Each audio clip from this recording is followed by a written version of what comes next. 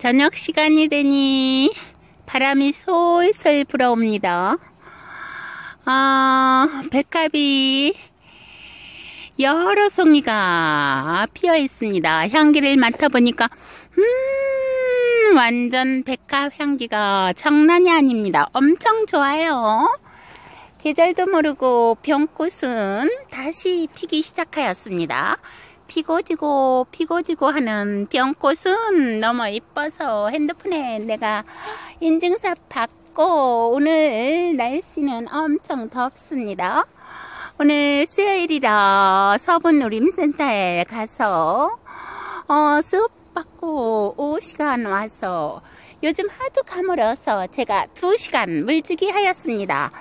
꽃들도 이뻐서 물주기 안 하면은 죽기 때문에 내가 2시간 동안이나 물을 주는데 투자를 하였습니다. 가끔 투자를 해야지 됩니다. 어, 이 시간에 오늘 아, 가지도 주렁주렁주렁주렁 열렸고 아무리 가물어도 곡식은 되나 봅니다. 아 그리고 고추도 주렁주렁주렁주렁 열리는데 고추가 빨갛게 붉기 시작하였습니다. 아, 요거는 내일 정도에 따야지 될 것 같아요. 암만 해도 제가 어, 수박도 수박도 익어가기 시작해가지고 수박 따먹으면 맛있고요. 이번 영상으로는 좋기도 좋기도 좋으시고 어기저기 한 바퀴 삥 돌고 있습니다. 물 주고 가끔 힘들으면은 핸드폰 들고 인증샷 찍어요 오늘 네, 물 주고 나서 오늘 날씨 굿하고 2분 영상으로 돌렸습니다. 나리꽃은 아직도 활짝 피어 있습니다. 하늘 보세요. 청명한 하늘.